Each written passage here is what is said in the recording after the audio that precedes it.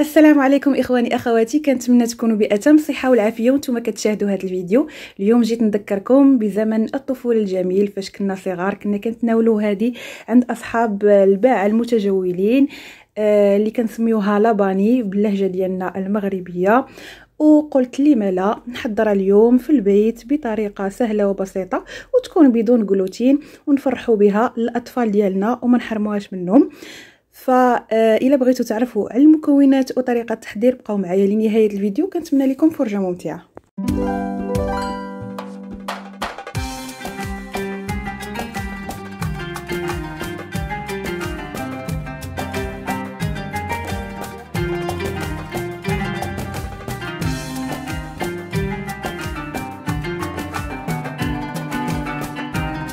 بالنسبة لهنايا أول مكون غادي نستخدمه هو السكر.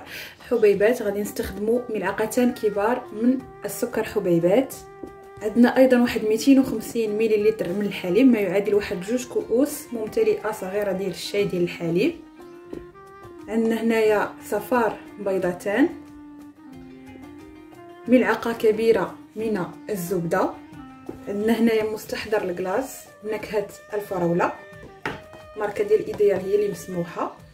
آه بالنسبة آه لكم تقدروا تستعملوا بودرة ديال الشونتيي وتنكهوها مثلا بال flan ديال الفراولة أو تستخدموا la mousse ديال الفراولة أو la glace لكم اختيار على حسب المتوفر عندكم.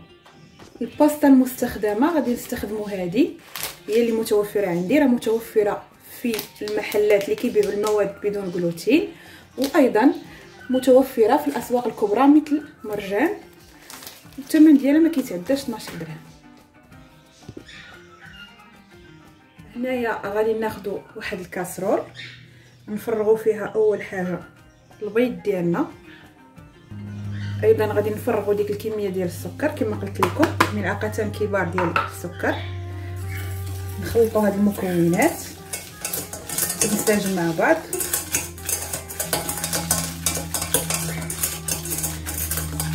من بعد هنايا غادي نضيفوا الحليب بالتدريج حنايا كنخلطوا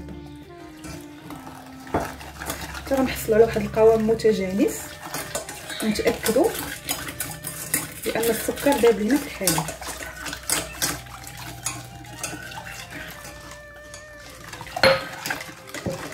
من بعد غادي ناخذوا هذا الخليط هذا وغادي نوضعوه فوق النار. حتى كيسخن لينا ماشي يغلي. فقط يسخن لينا وتكون واحد القشرة في الجوانب. من بعد كنطفيو عليه النار لاحظوا بعد ما فقط كيسخن لينا الخليط ديالنا راه كنضيفوا ليه هذيك الملعقة كبيرة ديال الزبدة. كنتسناو عليها حتى كتذوب وكنطفيو عليها النار. يعني ما كنخليوش الخليط ديالنا نهائيا يغلي. الخليط ديالنا كما كتلاحظوا هذا هو الشكل ديالو. غادي نخليوه آه يبرد جانبا.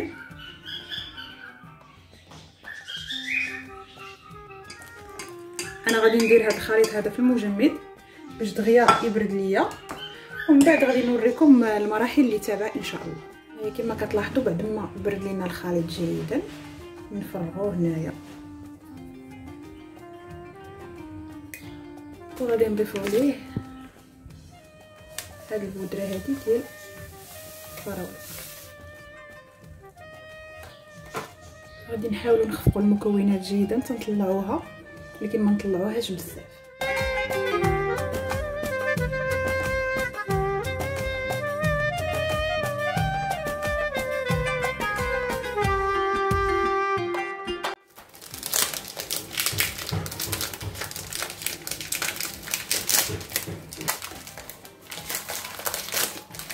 هنايا بعد ما طلعنا الكريمة فكناخذوا الباستا ديالنا وكنحاولوا نقسموها على نصفين وكنزولوا ديك الكريمة اللي كتكون. أنا اختاريت هنايا نكهه ال vanille هي اللي كتماشى مع هاد المثلجات. كتحيدوا ديك الكريمة اللي كتكون في الوسط وكتستمروا على هاد الطريقة حتى كتكملوا جميع حبات الباستا اللي عندكم.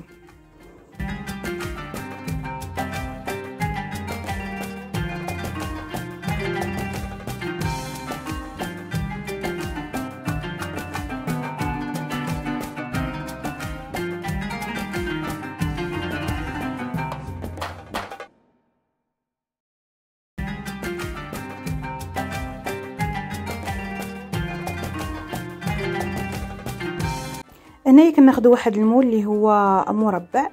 كما لاحظتوا درت فيه واحد الإطار. وغنحاول آه، كطبقة في التحت غنحاول نستف هكا الباستا ديالي. النصف الثاني غادي نديرو لتحت. ومن بعد في الوسط راه غادي ندير هذيك الكريمة اللي حضرت معكم ديال الفراولة. وكنغطي بنفس الطريقة.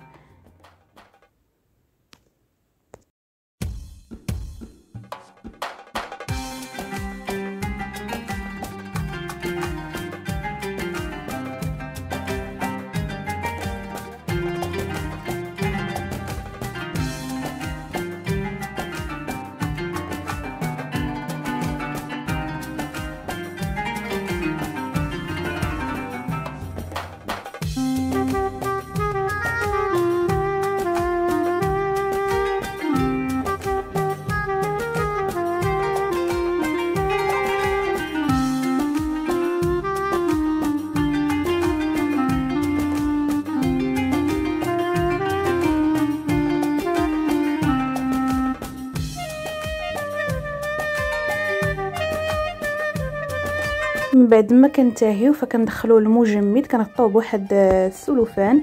ومن بعد كندخلوه المجمد لمدة خمس ساعات عاد كنقدروا نقدموه ونتناولوه بالصحة والراحة. وكيكون هذا هو الشكل النهائي بعد ما خلينا المثلجات ديالنا يبردوا واحد خمس ساعات في الثلاجه كيكون هذا هو الشكل ديالهم كيجيو رائعين جدا. كيفكرونا في الزمن الجميل. قلت لي مالا نحضرهم هكا نحضرهم بدون جلوتين وما نحرموش الأنفس ديالنا والأطفال ديالنا. من هاد المثلجات هادو. كما لاحظتوا كيجيو رائعين جدا. والمذاق تماما شبيه وأفضل بكثير من التي تباع عند الباعه المتجولين